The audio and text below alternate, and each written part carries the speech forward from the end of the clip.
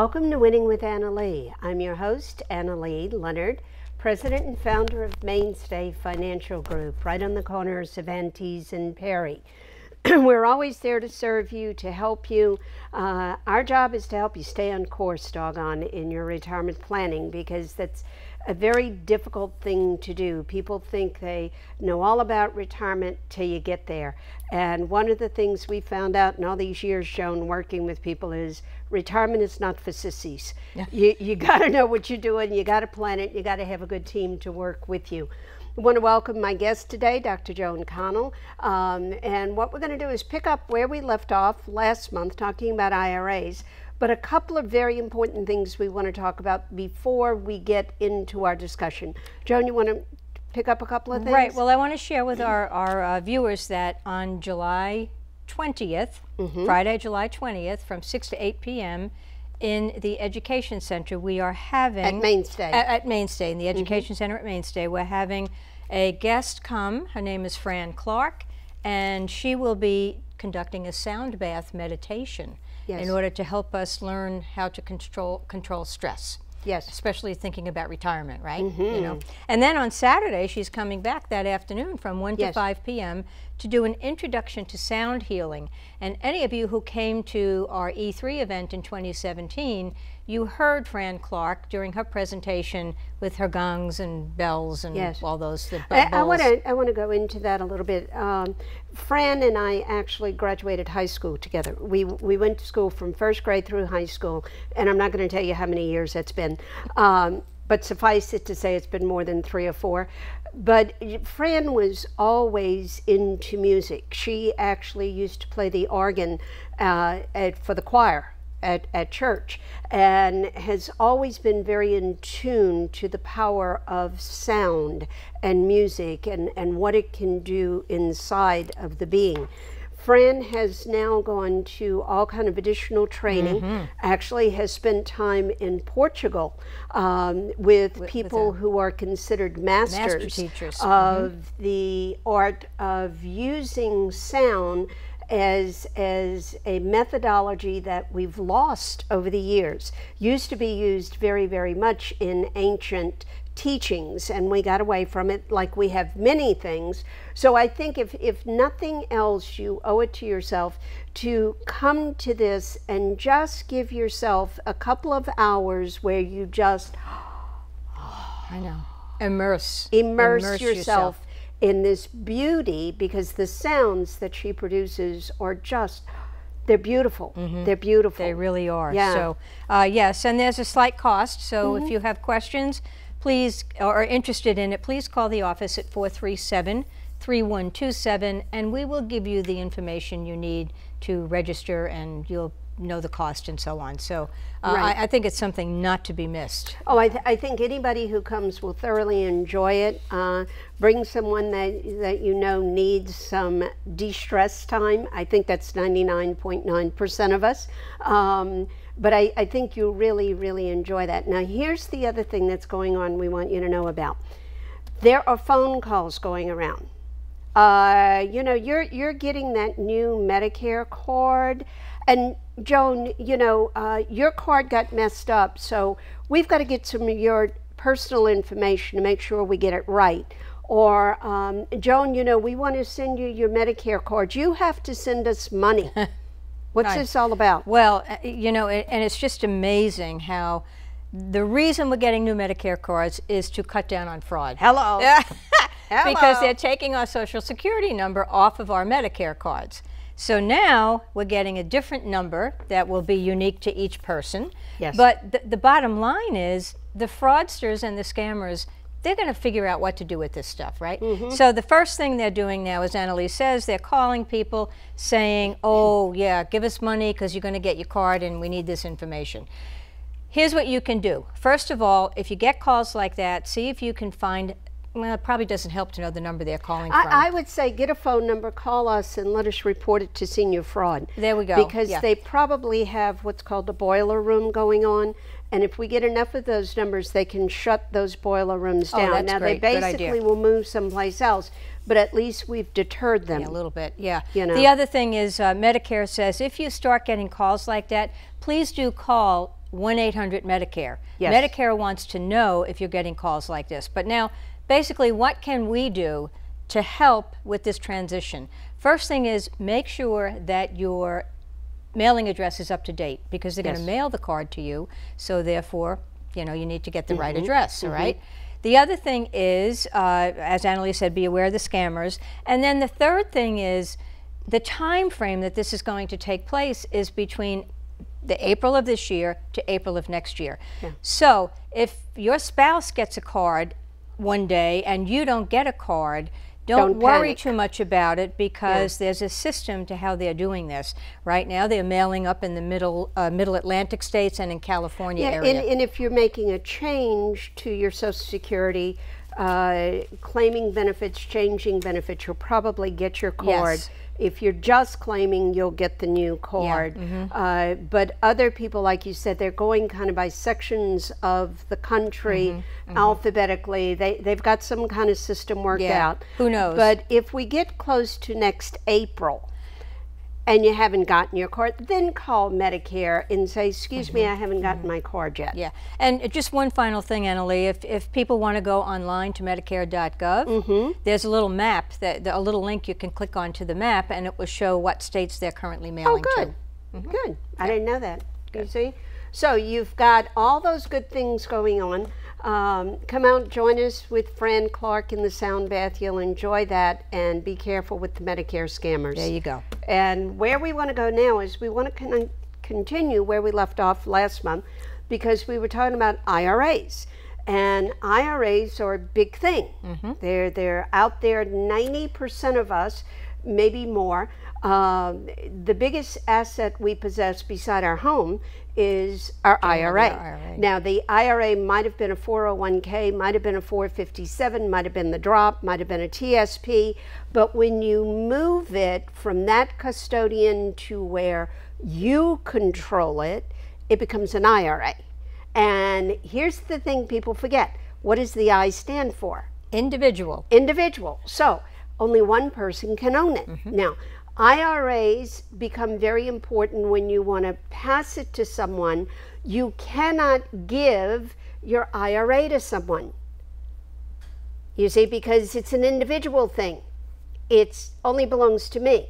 So when people go through divorce, and unfortunately, what we term gray divorce has become the highest growing rate of divorce in the United States. Um, and I know that because I'm dealing with it with clients Mm. Quite frequently, consistently. yeah. So I had someone come in this week and he said to me, you know, my wife and I are separating, and I want to keep this IRA, but I want to give her that one. Uh-huh. I said, I can't do that.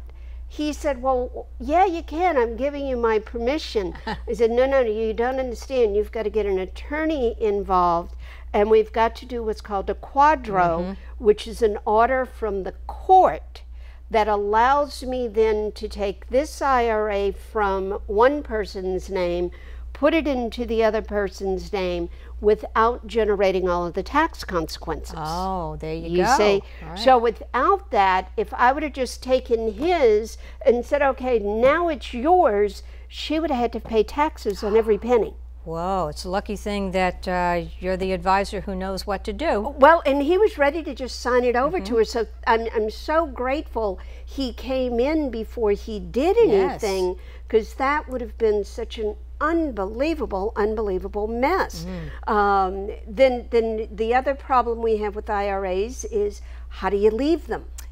How do you, do you who's the beneficiary going to be? Right, and I know we left off last month saying we'd come back and uh, talk about uh, trusts, Yes. IRA and trusts. Yes, yes, and it, it- that that's a very important thing. And you know, I brought with me one of my small manuals from Ed Slott. Uh, this is one of many. Joan can tell you I have a stack of these almost as tall as I am in the office from all the years I've been studying with him. And every year I get two of these when I go to his class. Not one, I get two. Um, but it, but we go more and more and more in depth into the rules of qualified money. So people will come in and you know they'll they'll have a trust. And even Ed Slott says right here, if the trust is appropriate, if the trust is appropriate. And again, he goes on to say, trust are not needed by everyone. Okay, so if you need a trust and you have a trust, you cannot, well, you can, but you'll really mess things up.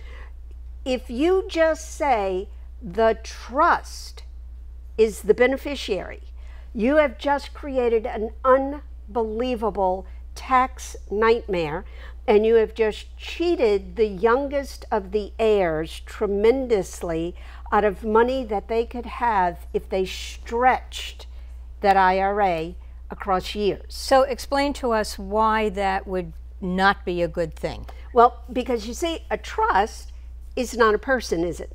No, No, no, it's it's a, trust does not have a life it's just like expectancy. a container, isn't it? Yeah, it's a container. Okay, it doesn't have a life expectancy. It's just like a corporation. A corporation doesn't have a life expectancy. It is there until it is dissolved. Uh-huh, And who knows when that's going to be? Right. So if if I live to be 110, which at the rate I'm going I might do, um, you know, I live to 100, and I'll probably work till I'm 109.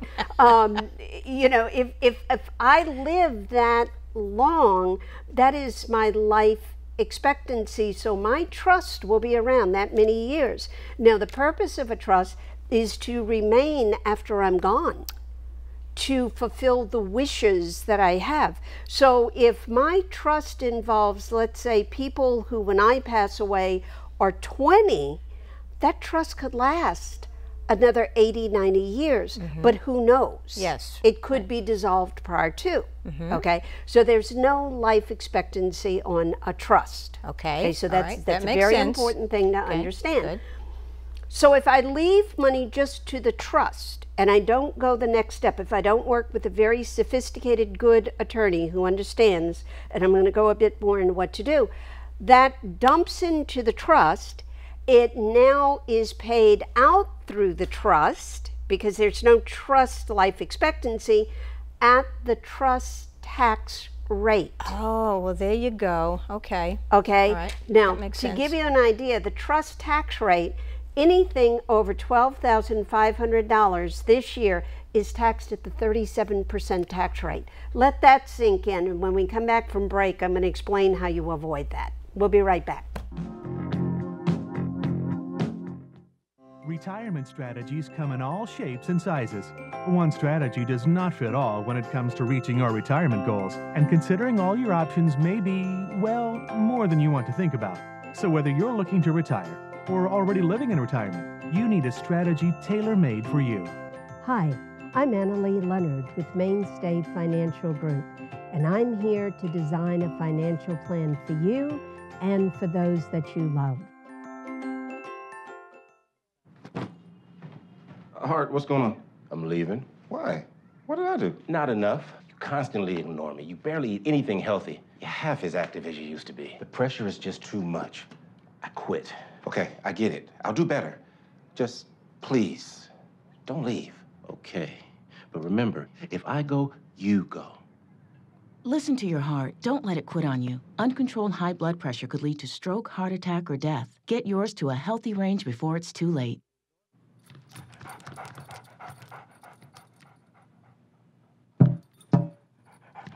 There's a shelter pet who wants to meet you. Meet one today. Visit theshelterpetproject.org. Adopt. Mainstay Financial Group offers advocacy and personal financial guidance in a caring environment. That's the heart of our practice. At Mainstay, we're dedicated to exemplary service and a caring relationship with our client, not with a number. Plan for the future now with Mainstay Financial Services. Welcome back to Winning with Annalee. I'm your host, Annalee Leonard, president of Mainstay Financial Group, right on the corner of Cervantes and Perry. And with me today is Dr. Joan Connell, my business partner. And I guess I should say with us today is Ed Slott, because we're using all of Ed Slott's material. See, Ed Slott, Elite IRA Advisors Group. This is where I get all this information from. And this is why I go every year. That's And right. sit with him and literally allow him to fry my brain uh, so that I can come back with all this wonderful information that I'm able to refer back to constantly. And if I can't find it, I just pick up the phone and call their office. That's right. And they walk me through everything, which is great. Um, so, so we were talking about the trust and, and how the trust, leaving just, just leaving this to the trust can really mess things up tax wise. Now, the other problem it does, if, if you just leave this money without some type of instruction, ooh, and you get a 20 year old that all of a sudden gets $80,000, $100,000, $200,000, uh, that could be dangerous unless it's a very sophisticated, very grown up, educated, financially educated person who understands the fact of reinvesting that and letting it have the power of time and compounding so that they then have a very nice nest egg when they retire. Unfortunately, a lot of tr- inheritances are spent within three to six months. Right. And you figure how long it took you to put that together. So, ideally, the IRA should be left in a fashion where it can stretch across the lifetime of the person who inherits. Now, we're not talking spouse, okay? Because remember last month we talked about how a spouse can own, They, own they can own they the can IRA actually own the IRA. The inheritor does not. Okay, so the person who inherits has to every year take a required minimum distribution based on their age, not yours. So if you're 80 when you pass away and you leave some of that money for a 10 year old grandchild, think of how long that child can spread that money, and you don't have to leave them a lot for it to turn into a huge amount of money. Because they only have to take a little tiny bit. They only have to take a little bit. Remember when I talk about the IRA tables? Well, you know, I I talk in my class about one that is strictly for those of us who have reached the required minimum distribution mm-hmm. age. There are two more tables. Oh, wow. Yeah, there's one if you have a spouse 10 years younger than you, and there's an entire other table that's if you inherit an IRA. so, for instance, let's say you leave an IRA and you have two beneficiaries, and one is 55 and one is 10. Okay? So you leave them each $200, 200,000. Okay? Now, the person who's 55, their factor, according to the inherited IRA table, is 29.6. So I take 200,000, I divide it by 29.6. They have to take out $6,756. Okay. Okay, they got to pay taxes on that. They can spend the rest, they can invest it, do whatever they want. Now, the 10 year old, the factor on a 10 year old when they inherit is 72.8. So I take 72.8, divide that into 200,000. That person only has to take out $2,747. Now, just just follow me on this and think about the immensity that this would create. So they get $2,747. They've got to pay taxes based on that tax table of the 10 year old. Right. Okay. They take that little bit out. And if I were you, I would do a letter of some type of instruction that says, all right, you can take $100 out, take the child to the baseball game or shopping or whatever it was you love to do with that child. So make it meaningful, okay? The rest of the money is reinvested for the child's future. Now, the child continues to do this through adulthood till they reach their retirement. Now they're getting instead of two thousand seven forty-seven, they're getting thirty thousand, forty thousand dollars a year Because that money's been growing all because it's been growing. Plus, they have the other pot that you made them reinvest. Okay. Wow. Because what what is it that's going away that we see consistently?